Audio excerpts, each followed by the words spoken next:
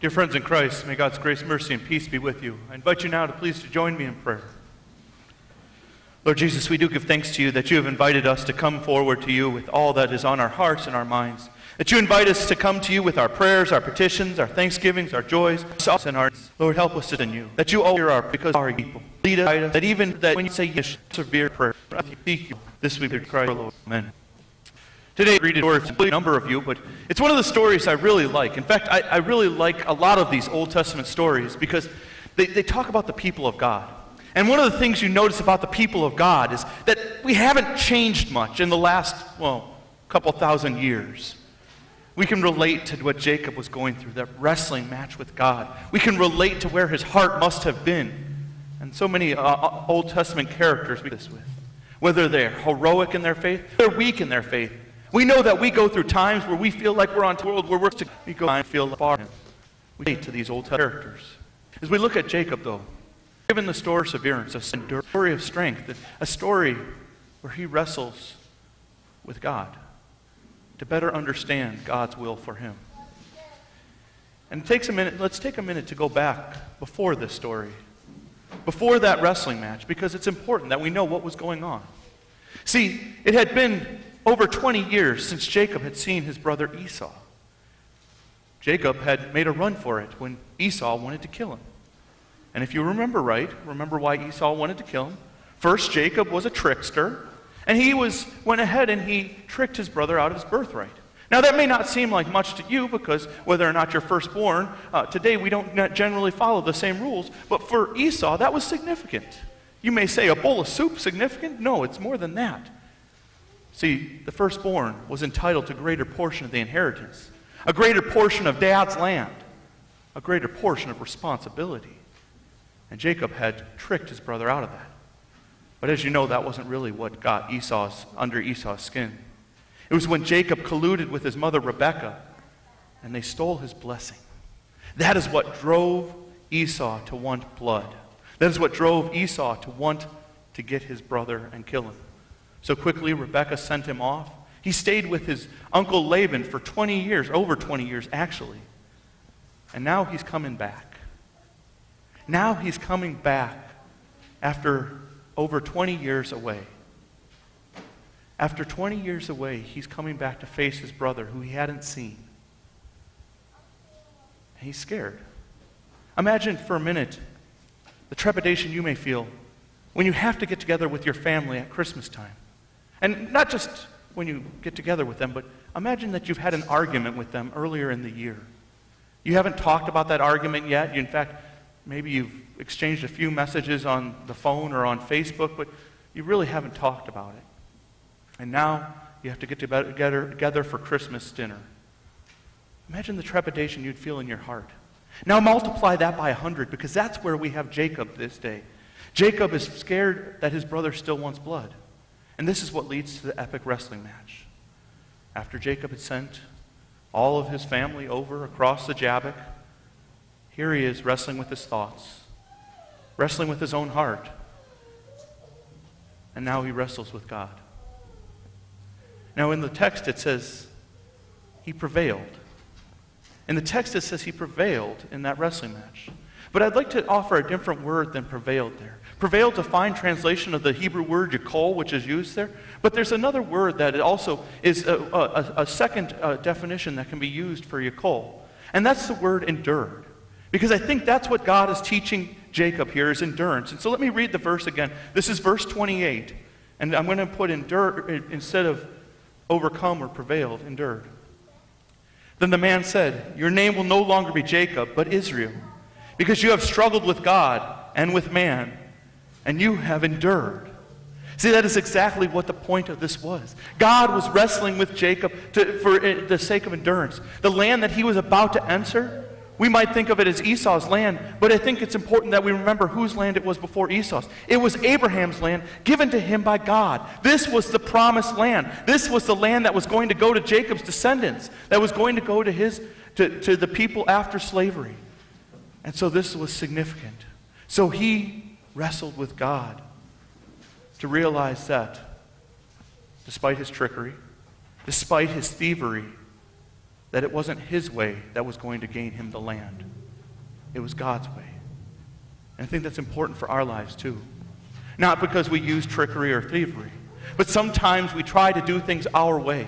We try to do things how we think they should go. We try to follow things and put things according to our plan. Well, things don't always work out according to our plans, do they? Things don't always, uh, always work out how we intend them to go. In fact, there's a joking joke, a line that out there that's kind of a joke. If you want to see God laugh, tell him your plan. I kind of think it's funny, but it really illustrates quite a bit of truth. Because it's true. When we want to, when we set plans, when we try to plan things out without God, they are destined to fail. Think about it, your own lives for just a minute. Think about some of the things that you've tried to do in your life. Some of you, you, you, you, try to grow closer to God. That's a really good thing, a good desire to have. You get into your word more. You spend more time on your knees in prayer. You, you're in worship on a regular basis. But the truth is, it is not us drawing near to Him, it is Him who draws near to us. Beautiful words in Hebrews chapter 7 that says that God draws near to us in our prayer. We can't draw any closer to Him. Some of you, you fight bad habits. I won't ask you what those are, but many people at the beginning of the year, they have these resolutions that they make to try to stop these bad habits, these addictions in their lives. And we try to do it on our own. We make our own plan. How many folks, after just a month, two months, six months, has that plan long been forgotten? Without God drawing near to us, without God's deliverance, our plans are destined to fail. We have to humble ourselves and we have to admit that to ourselves. Jacob had to be humbled by God. Notice it wasn't as though Jacob won that wrestling match. I, I know it used the word prevailed, but think about who he was wrestling here for just a minute. How that wrestling match ends. God just touched his hip socket, and in a moment's notice, that match came to an end. If God had intended for that match to end any sooner, it would have ended sooner. Because God, as Paul puts it, his weakness is greater than our strength our strongest strength. God was using this as a teaching moment for Jacob. God was using this to teach Jacob humility, to, to teach Jacob endurance in his faith, to teach him to persist in his prayer, to struggle against him. So often, God works in our lives. So often, He works through the difficult times of our life to teach us to struggle with Him to persist in our prayers, to grow stronger in our trust of Him. On our own, we don't do this, but when we struggle against Him, when we wrestle with God through these times, we see His hand at work. So often, it's easy for us to trust God when things are going our way, to say that it's according to God's plan according to God's control, when, th- when our family is behaving how they should behave, when our finances are agreeable, when, well, when our jobs are agreeable, when our health is agreeable. But it's easy then it's a lot harder to say God is in control when things are out of our control, when things are scary. Suddenly, our faith that we talk about on Sunday morning has to be more than theoretical. It has to be more than just something we talk about, a good feeling that we get. Our faith has to be something we wrestle with God, something that we struggle against, something that, that, that we seek to seek Him for a greater understanding, endurance. There's a, kind of give you a thought here about this, there's a story that I heard from a youth director a long time ago about a young lady who, she was in college, a college course for speech. And she was given the, the final exam assignment to, uh, to present a speech that was meaningful, that would leave a lasting impact, and would teach the class something. So she chose to, to teach her class about the law of the pendulum. So she takes 20 minutes to lay out her speech. She goes through the entire law, the, the fact that because of gravity and friction, a pendulum will never reach higher than its first point. It'll swing back and forth, but never come back to the same height it started at. And she went on and on for 20 minutes, explaining every aspect of this. Then, with a good illustration, she takes a child's top, ties it to a string, ties that to a thumbtack, and thumbtack and places that above the uh, blackboard. She marks the first point with chalk. She lets it go, watches it go back and forth, marches each spot, and shows to the class by visual illustration that the pendulum never came to the same point again. Well, at this point, the class applauds her. She, they think the speech is over. The professor starts coming down the aisle to, to uh, take, take the class back, and she invites the professor, if he would, to indulge her for a few more minutes. She has him climb up onto the desk to sit on a chair, and uh, to sit on a chair on top of the desk, and to put his head right against the concrete wall. Now, they have an exposed ceiling, and so earlier, before the class had started, she had taken some 500 pound climbing rope, tied it to the exposed ceiling, and tied 250 pounds of weight to the bottom of that rope.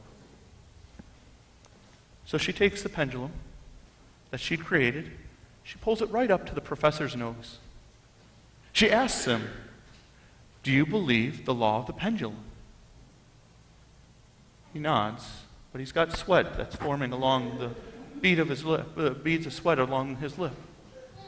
And she says, Remember, it will never reach the same height as it did before. So, do you believe me? She looks him in the eye. He says, Yes. So he holds it up there, and she lets go. It whistles across the classroom.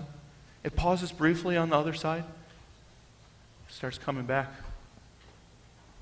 That student later testified she'd never seen a man move so fast than that man who jumped out of his chair.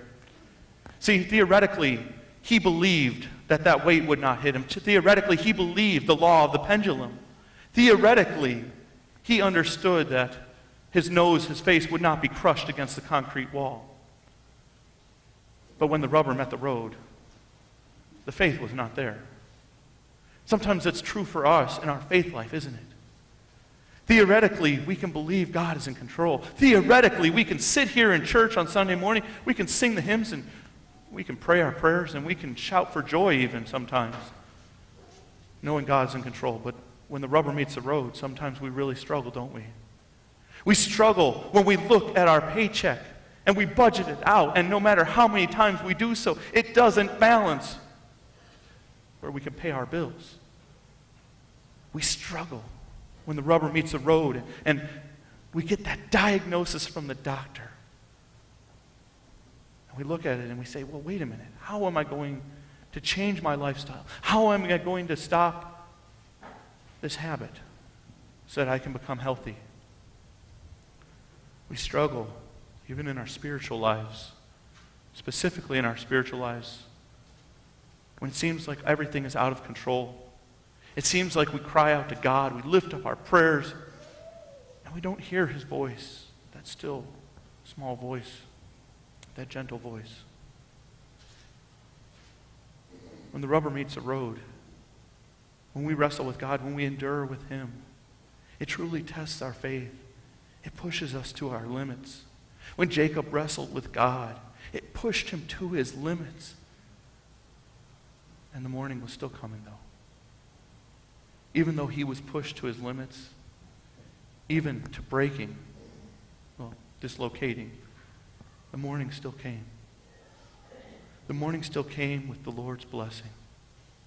Even as he endured, as he struggled, as he wrestled with God, that morning still came, and the Lord blessed him.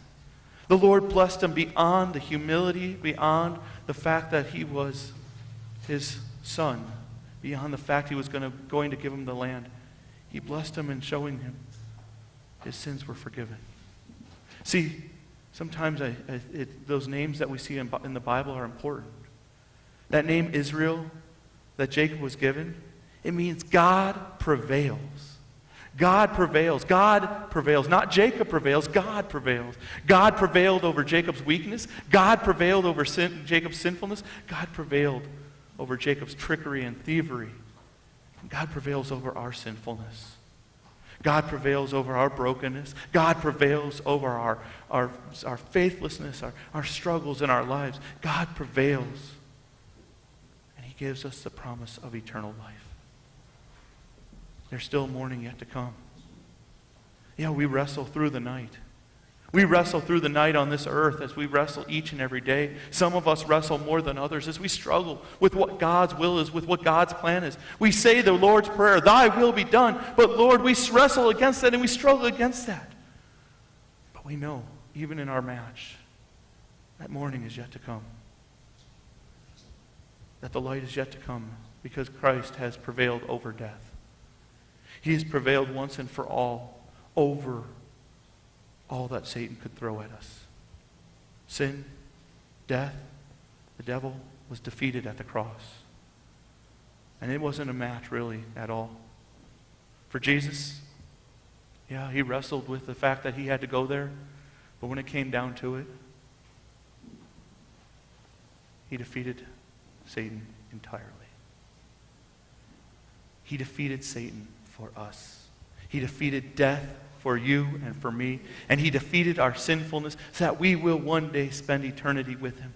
So, why do we wrestle with God? Why do we struggle against our Father? We do so because we know what He has prepared for us in advance. We do so because we know that He does have a plan, and that even as we go through the struggles of this life, the difficulties of this life, that there is something greater for us, that we may wrestle on this earth, but He has an eternal rest for us.